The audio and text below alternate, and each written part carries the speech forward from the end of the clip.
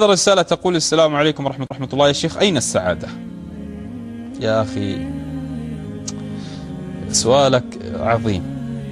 أين السعادة؟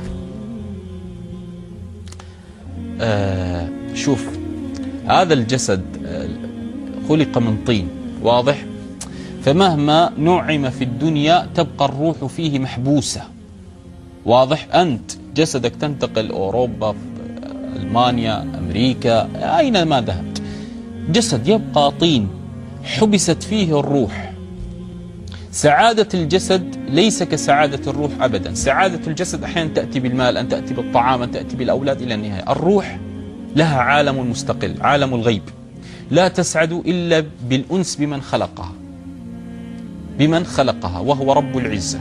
لهذا إذا اعتنيت بالجسد وأهملت الروح ترتب عليه التعقيد الذي نراه من الأمراض النفسية.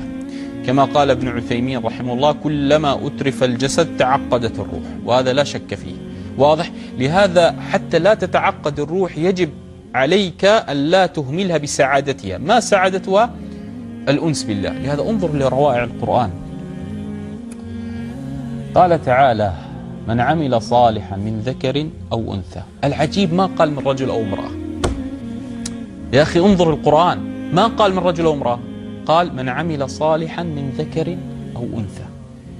لماذا لم يقل من رجل أو امرأة قال العلماء لأن الأطفال لو عملوا صالحا الله عز وجل سيجعلهم سعداء. حياة طيبة سيرزقهم حتى الأطفال. فقال تعالى من عمل صالحا من ذكر أو أنثى وهو مؤمن شرط.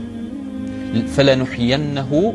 ماذا قال؟ حياة سعيدة. لا يا شيخ. ليس سعيدة. حياة طيبة. لماذا لم يقل سعيدة؟ لأن الدنيا لا سعادة فيها. ليست كاملة السعادة. فأحيانا يعتريك الهم. لكن لماذا قال طيبة؟